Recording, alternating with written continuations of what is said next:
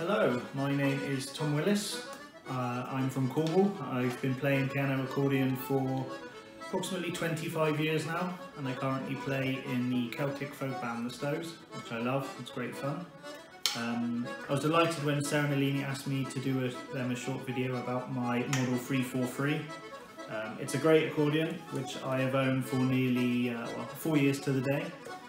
Um, one of the first things that drew me to this accordion was the simple and elegant look of it. I love the wood finish, um, but the wood is not only um, great aesthetically, it also makes for a wonderful tone, makes for a really mellow and soft tone which is, um, which is really handy for playing with other instruments and other musicians. Um, the playability of the accordion is, uh, is also excellent, the keyboard is very soft yet responsive, um, the accordion is well weighted and balanced, it sits nice, um, and it's light, which is handy for me uh, to do a lot of my playing standing up.